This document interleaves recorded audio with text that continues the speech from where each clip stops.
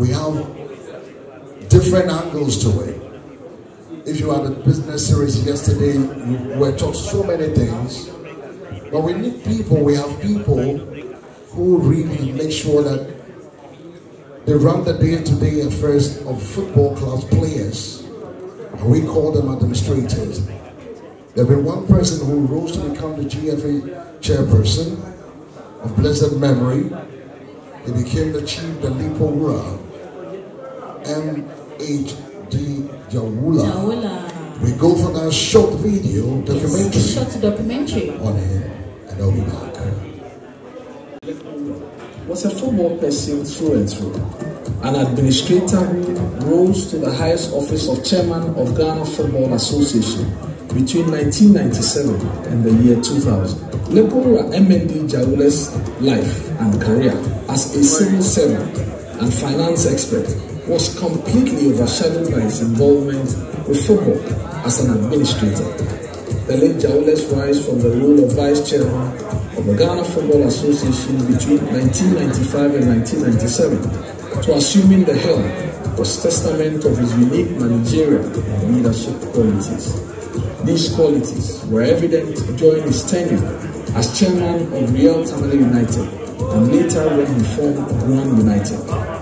Further roles as chairman of the Cup Committee for the resumption of the competition following a 10-year hiatus characterized his passion, commitment, and service to football.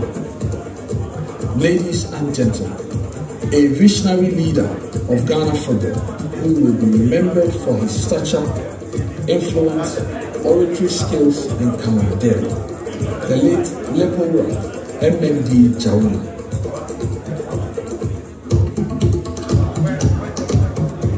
MND Jawula, later in life to become Lepora, was a football person through and through, an administrator who rose to the highest office of chairman of Ghana Football Association between 1997 and the year 2000. Lepora MND Jawula's life and career as a civil servant and finance expert was completely overshadowed by his involvement with football as an administrator.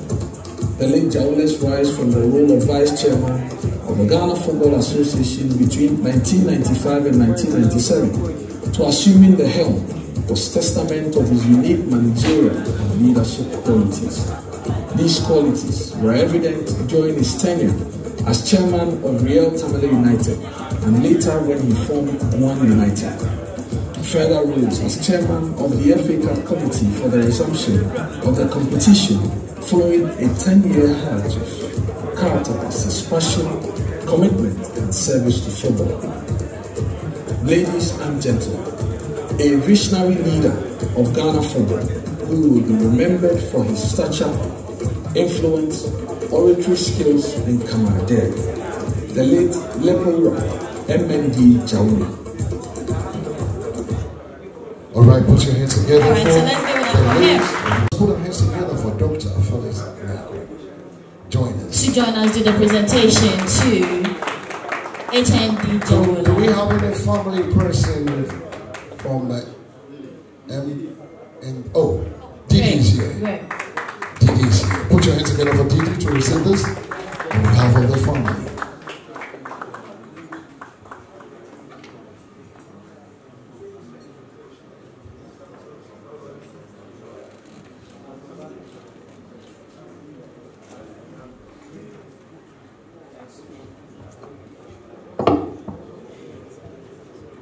Thank you very much.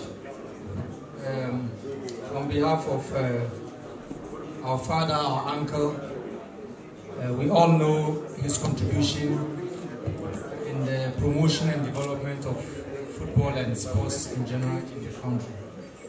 And uh, I think this is um, an inspiration to those of us who still have the opportunity to live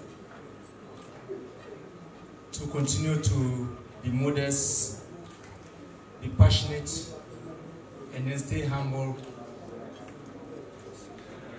in our small ways in trying to promote and develop sports in the country. Our uncle gave it all. He contributed towards the development of so many of us here gathered. And if today he's acknowledged with this uh, um, plaque, I think this is a big motivation and it should serve as uh, an inspiration to the rest of us here. Thank you very much. Thank you so much. Put your hands together.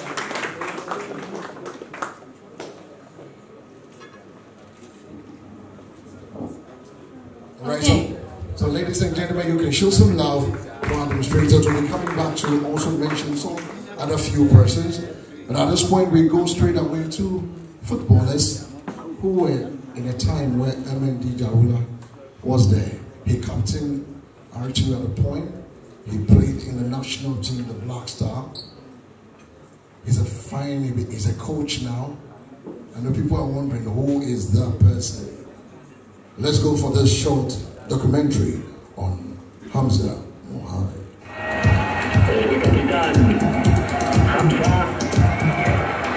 An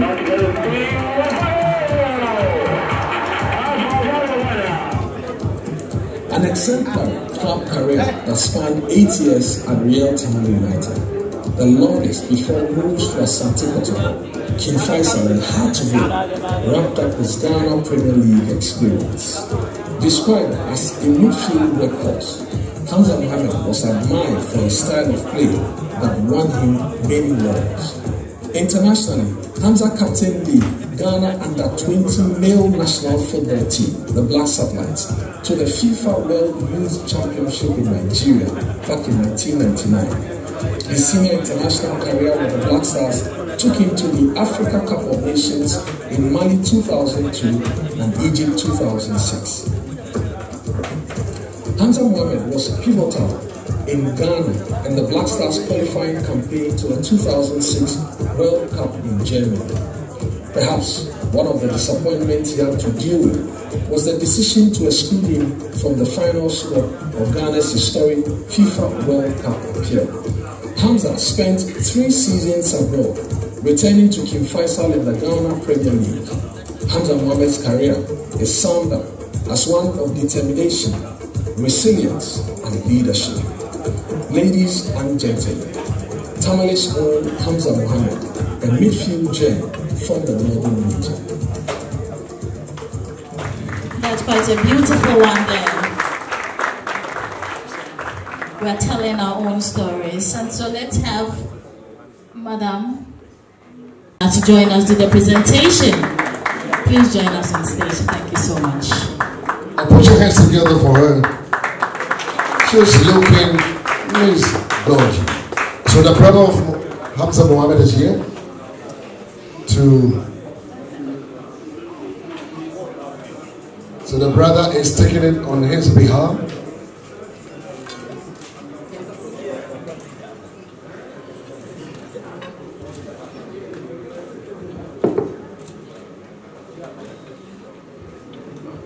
Paparazzis, are you done with it? Assalamu alaikum. On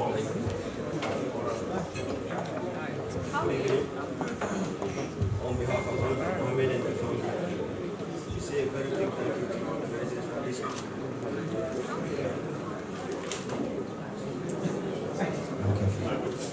On behalf, on behalf of and the family, we say a very big thank you to the organizers for this honor. We are very grateful